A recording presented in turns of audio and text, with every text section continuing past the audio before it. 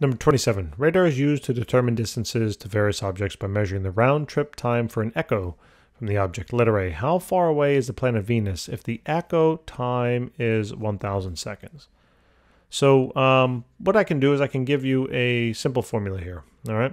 So let's say uh, the velocity is going to be equal, or the speed. Let's call it the speed. The speed is going to be equal to the distance over time. That we know. Okay. But here's the thing. If you're going to be using the echo time, so I'll put a little sub e down there. If you're going to be using the echo time, then what you have to be using is the total round trip distance. Okay. The total round trip distance. Or what you can do is you can erase then the round trip distance and you can plug in then 2 times the distance or the one way distance. Okay? Either way, however you want to do it, that's fine. But anytime they're asking you to solve for how far away, they're asking for the uh, the one trip distance, okay, or the distance just between the two. So I'm going to use this formula. The speed of the light, uh, that's the speed we're talking about because we're talking about radar. All right. And it's going to be 3 times 10 to the 8. This is going to be 2 times the distance. Now, the one-way distance, that's what I want to solve for, divided then by the time, the echo time, 1,000 seconds. All right. So when you solve this for D, take out the calculator, and it's going to be 3 times 10 to the 8, multiplied then by 1,000, and then you're going to divide that by 2. All right, so this is 1.5 times then 10 to the 11th meters. All right, that is then the distance. All right, so that takes care, I guess, of letter A. Letter, letter B. Uh, what is the echo time for a car 75 meters from a highway uh, police car radar unit or police radar unit? So this is now going to be same formula. 2 times the one-way distance, all divided then by the echo time. So to solve for echo time, just simply cross this on out, just like this.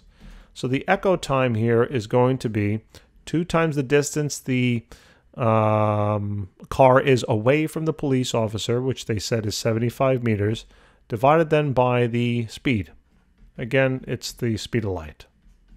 So the echo time here will be 2 times 75, all divided by then 3 times 10 to the 8. So about 5 times 10 to the minus 7 seconds. That's the echo time. So let us see. How accurately in nanoseconds must you be able to measure the echo time of an, uh, to an airplane 12 kilometers away to determine its distance within uh, 10 meters? All right. Um, so why don't we start with our formula? Uh, why don't we start with, um, I don't know, the speed is going to be equal to 2 times the one-way distance divided then by the uh, echo time. So I want to solve this for echo time. All right. Now remember, this is 2 times the one-way distance. All right. Now, essentially, if we, if we want to measure the distance within 10 meters, okay, that means that this is the important quantity that I have to plug into my formula here. All right because that's what I'm trying to measure. I'm trying to measure the echo time, the accuracy of the echo time in relation to the difference in the distance here.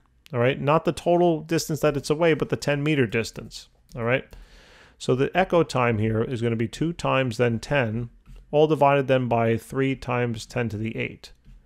So the echo time here is going to be, let's do it. So that's basically 20 divided by 3 times 10 to the 8. That's going to be now 6.67 times 10 to the minus 8. All right, seconds, but they want it in nanoseconds. So divide that then by, if you want, 10 raised to the minus ninth. And that'd be 66.7, 66.7 nanoseconds. And that takes care of that. Guys, thanks so much for tuning in. Hopefully that helps. And I'll see you in the next problem. Take care.